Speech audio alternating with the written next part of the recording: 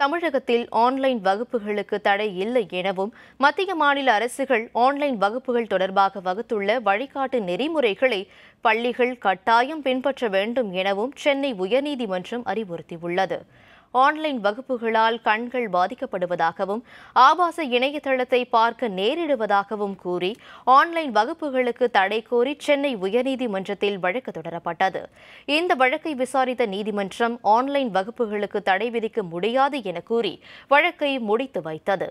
மேலும் மத்திய மாநில அரசுகள் உருவாக்கியுள்ள வழிகாட்டு நெறிமுறைகளை பள்ளிகள் கட்டாயம் பின்பற்ற வேண்டும் எனவும் பெற்றோர் ஆசிரியர் கலந்துரையாடல் இருக்க வேண்டும் எனவும் நீதிமன்றம் அறிவுறுத்தியுள்ளது.